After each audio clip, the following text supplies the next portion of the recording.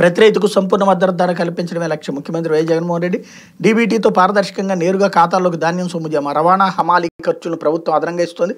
ధాన్యం సేకరణలో కొత్త విధానంపై ఆర్బీకేలో పోస్టర్లు ప్రదర్శించాలి. యాప్లో సిగ్నల్ సమస్యలు వస్తే ఆఫ్లైన్లోని వివరాలు నమోదు. రైతుల ఫోన్లకు ఆడియో వీడియో సందేశాలు పంపాలి. క్షేత్రస్థాయిలో ఎక్కడ గోని సంచులు కొరత రానివ్వద్దు. వచ్చే ఖరీఫ్ నుంచి సీఎంఆర్ మిల్లుల్లో డ్రైయర్ల ఏర్పాటు జిల్లా పౌర సరఫరా అధికారులు జవాబుదారీతనం పెంచాలి.